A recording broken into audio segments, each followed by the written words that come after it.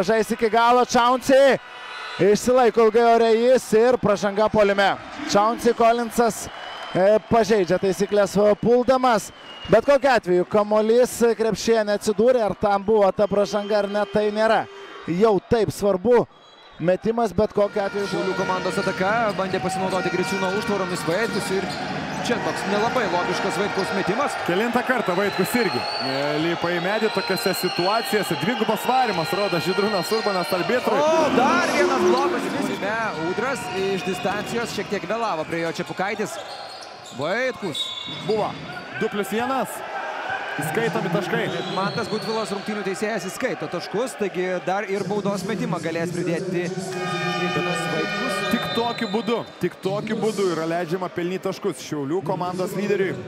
Taip, iki šio momento Ignas Vaitkus buvo prametęs visus savo penkis metimus į žaidimo ir turėjo minus keturis naudingumo balus.